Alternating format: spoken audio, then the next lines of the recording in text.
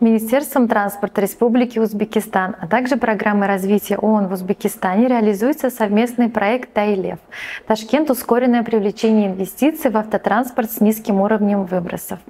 Главными индикаторами нашего проекта являются запуск электробусов, внедрение зеленых насаждений, а также поощрение и поддержка женщин. При анализе законодательства было выявлено, что женщине не разрешается управлять автотранспортными средствами грузоподъемностью более 2,5 тонн, а также перевозить более 14 пассажиров.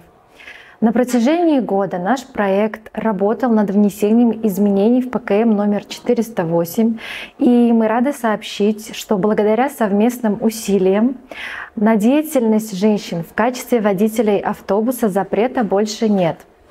Следует отметить, что новые электробусы и автобусы оснащены э, всеми техническими параметрами. Они комфортны, они удобны, а также они очень безопасны.